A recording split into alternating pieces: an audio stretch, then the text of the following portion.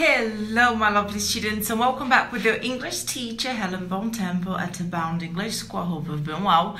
And today's English tip, we're going to be talking about some words involving bear. Now, let's start with the cutest one, which is the teddy bear. And by the way, I love teddy bears, they're so adorable, and kids love them too. And then we have the actual animal bear or a koala bear.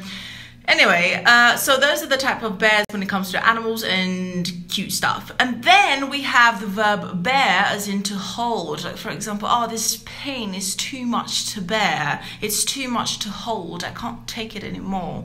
And then you have the bare hand. Like for example, you're not wearing any gloves. You said, oh, I've done it with my bare hand, or I've walked on my bare foot, or barefoot, let's say, meaning no shoes. Bye, guys.